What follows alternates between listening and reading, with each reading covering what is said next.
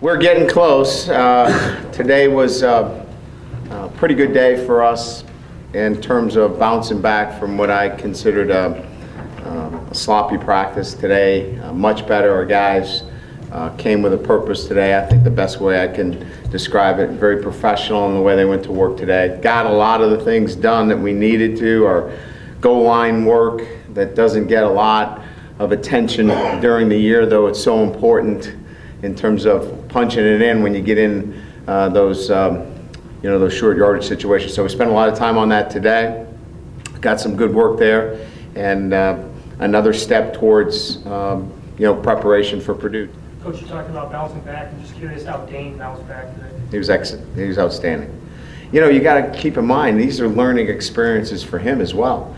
Um, he was injured most of the year last year, so he wasn't thrust into those practice situations where you have a subpar day um, and, and how you handle it. I got a chance to talk to him after practice. It's great teaching opportunities for me, you know. And Dayne is is just a great kid. He's gonna he's gonna absorb all those opportunities, and he absorbed yesterday's uh, lackluster, uh, lack of focus. Came back today, and he was he was outstanding. That's why he, he's a fun guy to coach. You mentioned kind of that list going from a dozen to 49, and all that you've learned throughout your career being a head coach. Can you imagine this being your first job, being the head coach?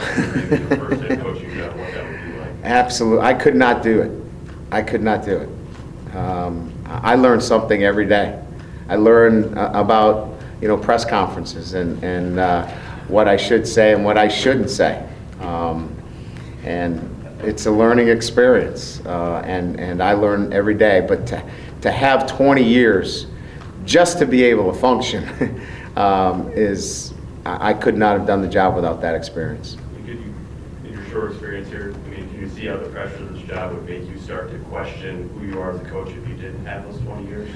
Um, no, I I don't think I'm referring to the pressure of the job. The pressure of the job I knew coming in. Um, it's, it's the scrutiny, uh, it's being in the fishbowl, it's that every word that you uh, articulate, uh, you have to be careful uh, because it can be, they all don't sit in this room and they're not all uh, hearing the front end of the question and the back end of the question. So, um, you know, those are important. And then clearly the other things about uh, making sure that um, you understand that you've got to be an ambassador and be all over the country too, representing Notre Dame. Um, I, I know I would not have been prepared without that experience.